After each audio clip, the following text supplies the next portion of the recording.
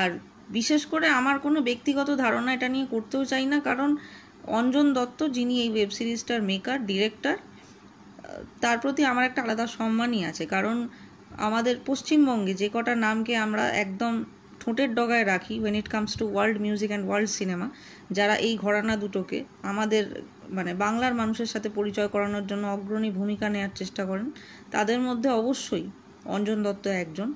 কিন্তু আমার ওনার কাজ নিয়ে বলার জন্য এই ভিডিও নয়। আমি একটা কথা বলতে চাই, ওনার একটা ছোট্ট লেখা নিয়ে, যেটা নিয়ে অলরেডি কথা, আলোচনা, সমালোচনা হয়েছে বিভিন্ন ফেসবুক গ্রুপে এবং বিভিন্ন ক্রিয়েটারদের মধ্যে যাদেরকে অঞ্জন দত্ত খুব একটা পাত্তা দেন না বলেই সেই লেখায় দিয়েছেন। দিতে হবে না ওনাকে। মানে জোর করে পাত্তা পাওয়াও যায় না, কেউ বলেও না, আমাকে পাত্তা দাও, আমাকে পাত্তা দাও।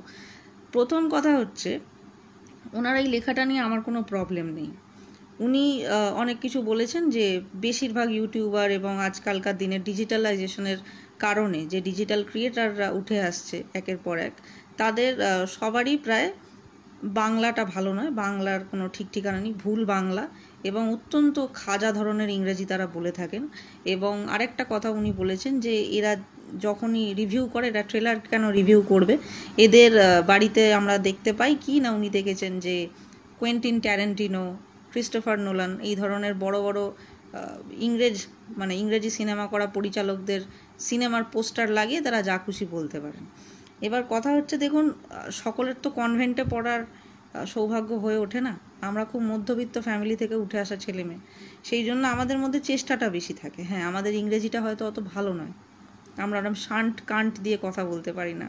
আর ইংরেজিটাকে আমাদের বাপ পিতামোর সম্পত্তি বলে মনেও করি না। চেষ্টা করি because English is just a language আমাদের ডিকশনটা হয়তো একটু আলাদা, আমাদের হয়তো মাদার টাং ইনফ্লুয়েন্স আছে যখন আমরা ইংরেজিতে কথা বলি তার মধ্যে, কিন্তু তার মানে এই নয় যে আমরা অশিক্ষিত।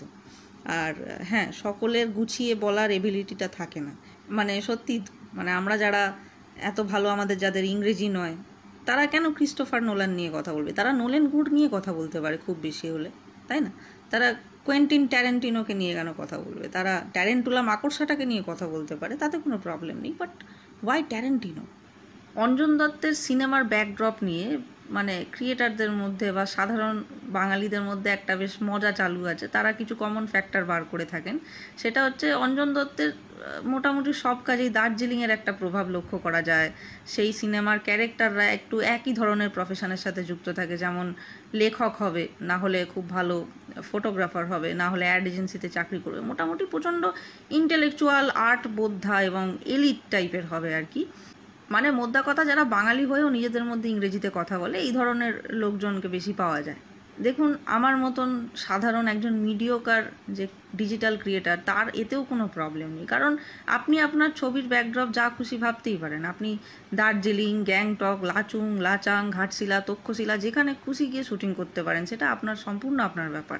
কিন্তু আমার একটা জায়গায়, গোটা লেখাটার মধ্যে একটা জায়গা নিয়ে প্রবলেম আপনি একটা জায়গায় একটা কথা লিখেছেন পার্টিকুলারলি একটা লাইন নিয়ে। সেটা কি? উনি বলেছেন আর যদি এই ডিজিটাল প্ল্যাটফর্মগুলো না থাকতো, তাহলে এরা কি করতো? এরা কি ট্রেনে হকারি করে খেত? নিশ্চয়ই খেটে তো খেতেই হতো। এরম জাতীয় একটা কথা উনি বলেছেন। তা আমার প্রশ্নটা এখানে, এই যে উনি বললেন যে ট্রেনে হকারি করে খেত কি না যদি খেত, তাহলে কি খুব একটা অসুবিধা হতো? মানে হকার মানে কি? আমি যতদূর জানি জার্মান শব্দ হকস্টার থেকে অপভ্রংশ হয়ে হকার কথাটা এসছে ইংরাজিতে। ইংরাজি তাকে আপন করে নিয়েছে। এবং হকার মানে কি? না, যে মানুষ চিৎকার করে, আগে তার প্রোডাক্ট সম্বন্ধে পিচ করে এবং তা বিক্রি করার চেষ্টা করে। একবার ভেবে দেখুন তো, কোথাও না কোথাও গিয়ে আমরা সকলেই কি হকার নই? আমরা তো প্রত্যেক দিন আমাদের এবিলিটি আমাদের স্কিল আমাদের প্রতিভা, এগুলোকেই বিক্রি করে খাই। তাই ট্রেনে কে হকারি করবে কি কি? এইটা করে অন্তত মানে যাদের যে ক্রিয়েটারদেরকে ওনার পছন্দ নয়, তাদেরকে ছোট করতে গিয়ে কোথাও যেন উনি নিজেকেই ছোট করে ফেললেন। আর উনি এও বলেছেন যে মধ্য মেধা এবং মিডিওক্রিটিকে যেন আমরা সকলে এড়িয়ে চলি। ঠিক আছে তাই? যেমন, ধরুন আপনি এত ভালো ভালো সিনেমা বানানোর চেষ্টা করেন কোথাও না কোথাও গিয়ে দরকার মনে হয়েছে বলে আপনাকে গণেশ টকিজের মতো একটা সিনেমা বানাতে হয়েছিল।